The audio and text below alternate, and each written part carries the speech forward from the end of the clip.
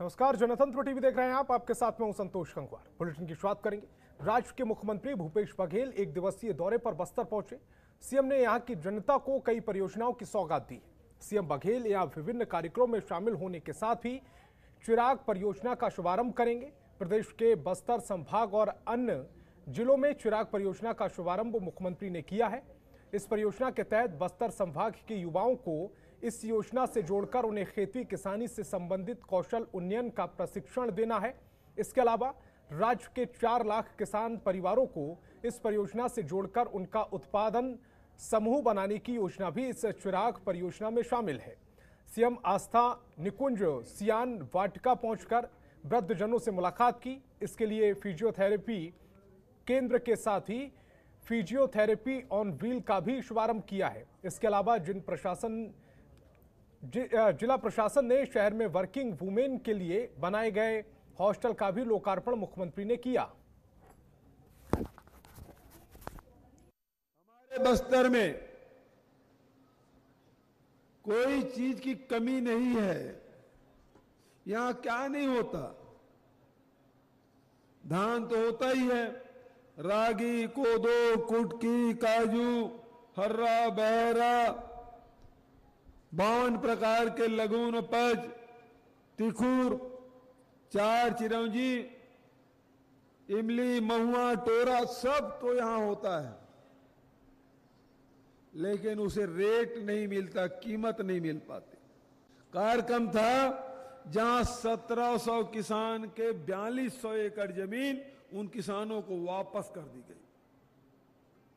ये काम पूरे हिंदुस्तान में किसी राज्य में नहीं हुआ केवल बस्तर में हुआ, केवल छत्तीसगढ़ में हुआ है। लेकिन तमाम परेशानियों के बावजूद भी ये सरकार, किसानों की सरकार है, आदिवासियों की सरकार है, नौजवानों की सरकार है, हमारे माता बहनों की सरकार है, और हर स्थिति में ये सरकार किसानों के साथ खड़ी है। लाख अड़ंगे के बाद भी समर्थन मूल्य में हम धान खरीदी कर रहे हैं और इनपुट सब्सिडी नौ हज़ार रुपया दे रहे हैं। जैसे चौबीस अभी कह रहे थे कि हम पच्चीस सौ रुपया में धान खरीदे तो भारत सरकार को परसा, वो परेशानी हो गई कि आप एक रुपया भी ज़्यादा नहीं दे सकते। अभी भी हम लोगों को धान खरीदी में बड़ा अड़ंगा कि आप बोनस नहीं दे सकते। आप आप उसना चावल जमा नहीं कर सकते। आपको बारदाना नहीं मिल सकता। और छत्तीसगढ़ के मुख्यमंत्री भूपेश बघेल अपने एक दिवसीय दौरे पर बस्तर पहुँचे। यहाँ जगदलपुर में सीएम ने लोगों को कई परियोजनाओं की सौगात दी। साथ ही परियोजनाओं के बारे में जानकारी देते हुए बताया कि बस्तर में शुरू कोई भी योजना हमेशा सफल रही है। जीवन में बदलाव के लिए चिराग योजना आई है। जबलपुर में अनेक कार्यक्रम थे जिसमें पाटलिक महिला पॉलिटेक्निक कॉलेज में बहुत सारे कार्यक्रम शुरुआत हुई। उसके साथ साथ जो सबसे बड़ी योजना है, चिराग, जो 1735 करोड़ की योजना है, जो बस्तर और सरगुजा संभाग सहित बारह जिला वो और दूसरा मुंगेली और बलौदा बाज़ार है? संभवतः बलौदा बाज़ार। तो कुल मिला चौदह ज़िले हैं जहाँ ये चिराग योजना अभी शुरू हो गया आज से शुरुआत उसकी हो गई है। तो इससे निश्चित रूप से लाखों परिवार को इसका लाभ मिलेगा कि किस प्रकार से अपने उत्पादों का वैल्यू एडिशन कर कर सकते हैं, ज़्यादा रेट प्राप्त करें। उसके जीवन में बदलाव के लिए ये चिराग योजना है। हमारी तैयारी पूरी है और जैसे पिछले समय सभी दस नगर निगम जीते थे, उसी प्रकार से ये नगरीय निकाय चुनाव भी हम जीतेंगे। छत्तीसगढ़ में धान खरीदी शुरू होने वाली है। धान खरीदी से पहले मुख्यमंत्री भूपेश बघेल ने प्रधानमंत्री नरेंद्र मोदी को चिट्ठी लिखी है। सीएम ने चिट्ठी के ज़रिए बारदानों की कमी को लेकर प्रधानमंत्री को अवगत कराया है। बघेल ने अपनी चिट्ठी में लिखा है कि राज्य में इस साल 105 लाख टन धान खरीद का लक्ष्य रखा गया है। इसके लिए पाँच लाख पच्चीस हज़ार गठान बारदाने की आवश्यकता है। रोज़ाना दस हज़ार जूट बारदाने की आवश्यकता होती है। लेकिन अब तक केवल छियासी आठ गठान नए जूट बारदाने प्राप्त हुए हैं। ऐसे में बारदाने की कमी हुई तो धान खरीदी प्रभावित हो सकती है।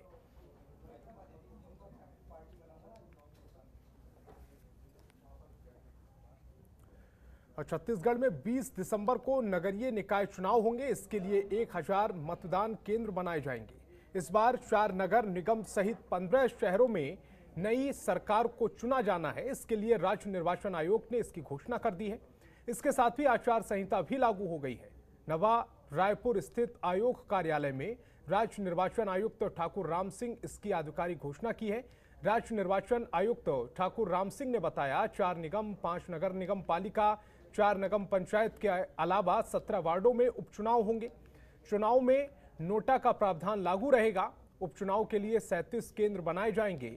जिला निर्वाचन अधिकारी कलेक्ट्रेट 27 निर्वाचन जारी करेंगे। हर बार की तरह इस बार भी चुनाव बैलेट पेपर से होंगे।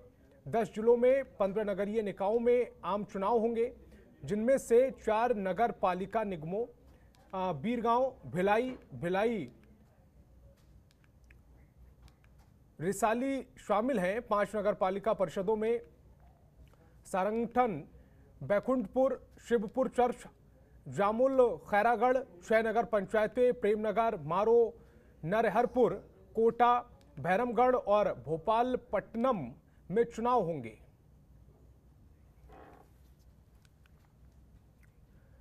और गरियाबंद में भाजपा युवा मोर्चा लगातार प्रदेश सरकार के खिलाफ धरना और विरोध प्रदर्शन कर रहा है। जिलाध्यक्ष योगीराज माखन कश्यप के नेतृत्व में युवा मोर्चा ने एनएच 130 को जाम कर दिया। प्रदेश सरकार के जन घोषणा पत्र में बेरोजगारी भत्ता, पच्चीस रुपए मासिक देने का वादा भूल जाने और युवा भाई बहनों के साथ छलावा करने को लेकर बघेल सरकार को युवा मोर्चा घेर रहा है।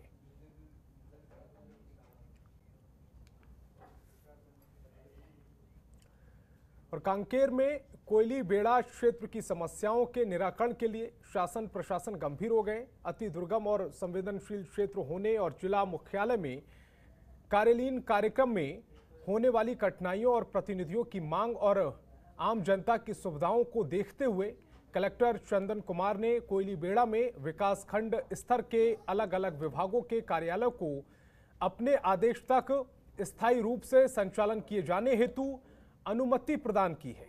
साथ ही प्रशासकीय अधिकार प्रदान किए गए हैं और अधिकारियों को कोयलीबेड़ा मुख्यालय में नियमित रूप से रहना सुनिश्चित करना और कार्यदायिनी दायित्वों को निर्वहन करने हेतु निर्देशित किया गया है।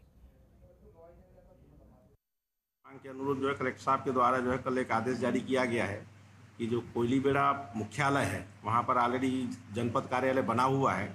वहाँ पर एक additional CO additional BO senior agriculture के एक अधिकारी और इस प्रकार से उद्यानिकी का अधिकारी, इस प्रकार दस विभागों के अधिकारी और उनके स्टाफ लगभग पचास की संख्या में वहाँ मुख्यालय में रहेंगे। वहीं पर बैठ कर के उस बीस, पच्चीस पंचायतों की लोगों के निराकरण सुनवाई करेंगे और उनको प्रशासनिक अधिकार भी दिए गए हैं कि आम जनताओं की विभिन्न जो छोटी छोटी समस्या है, उसका वहीं पर स्थापित बैठ करके उनका निराकरण कर सके। तो कल ही एक आदेश जारी हुआ जिला प्रशासन के द्वारा।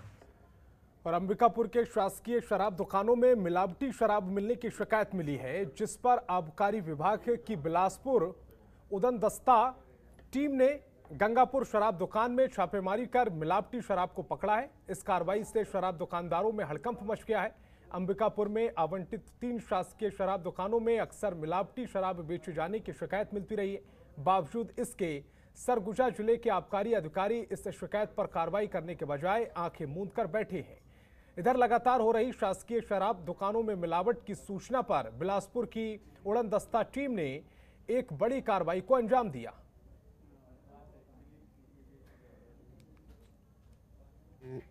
हमने यहाँ की बीसी भी होना था, कमिश्नर साहब की ओर से तो बीसी भी अटेंड किया और रूटीन जाँच में आए दुकान की शिकायत थी, एक वीडियो वायरल हुआ था जिसमें मदिरा में मिलावट करते हैं, पानी मिलाते हैं और अपने कुछ लोग फ़ायदे के लिए काम करते हैं। यहाँ हमको मिलावट, क्योंकि सुबह सुबह के टाइम तो ज़्यादा मात्रा में मिलावट तो नहीं मिला, लेकिन वो एसी ब्लैक का आठ बोतल हमको मिलावट मिला हुआ मिला, उसने हम जब्त किया है।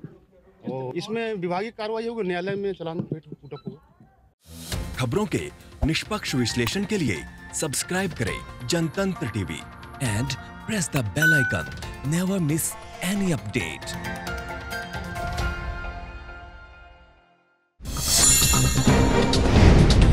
download कीजिए जनतंत्र टीवी ऐप को। जो कि अवेलेबल है गूगल प्ले और एप स्टोर पर। अधिक जानकारी के लिए अभी डाउनलोड करें।